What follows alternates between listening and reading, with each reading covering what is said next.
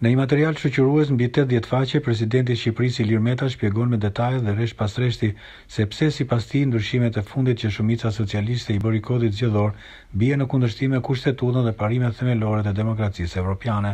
Zoti Meta thotë se këto ndryshime të rregullave zgjedhore cënojnë parimet demokratike ndërkombëtare Për realizimin e zgjedhjeve të lira dhe të ndershme, ato u realizuan në mënyrë të njëanshme, pa konsensus gjithëpërfshirës dhe bien ndesh edhe me frymën e kushteve të vendosura nga Këshilli Evropian në mars për plotësimin e pesëmbëdhjetë kushteve përpara zhvillimit të Konferencës së Parë Ndërqeveritare. Opozita vlerësoi sot qëndrimin e presidentit për t'i kthyer pas këto ndryshime në parlament si një hap dhe mundësi e rëndësishme në drejtim të rikthimit të paqes publike dhe klimës zgjedhore në vend. Hapësira që Presidenti i Republikës ka dhënë nëpërmjet rikthimit për shqyrtim në Kuvend, e shoqëruar me kërkesën për marrjen e opinionit urgjent nga Komisioni i Venecias, është jo vetëm një akt i pjekur në vazhdën e traditës politike dhe parlamentare tridhjetë vjeçare, por dhe një mundësi e mirë për të rikthyer gjithëpërfshirjen dhe konsensusin politik, si dhe gjetjen e zgjidhjeve teknike për eliminimin e deformimeve të rënda kushtetuese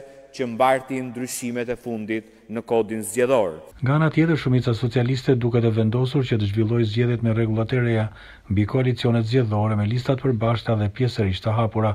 Drejtuesi i Partisë Socialiste, Edi Rama, ka deklaruar më se një herë se kthimi i Kodit Zgjedhor nga Presidenti në Parlament nuk do të ketë asnjë efekt dhe se ato do ta rimiratojnë atë menjëherë, duke shprehur ndërkaq edhe një seri kritikash ndaj sjelljeve politike të zotit Meta. Duhet ta ndihmojmë Ilir Metën që t'i thotë shqiptarëve ç'a do akoma. Ta thotë.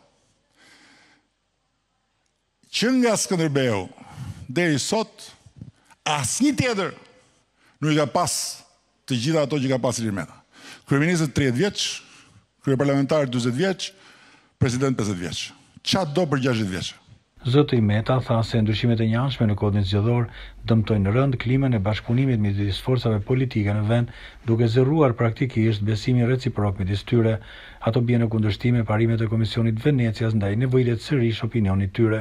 Nga dekretimi i datës së zgjedhjeve prej presidentit, partitë kryesore politike janë përfshirë faktikisht në një fushatë të hershme zgjedhore edhe pse zgjedhjet janë gjashtë muaj larg. Politikanët kryesorë po dalin pothuajse përditë edhe nga dy herë në ditë në mediat vendore me fjalime të gjata dhe premtime elektorale. Për Zërin e Amerikës, Ilirjan Agolli, Tiranë.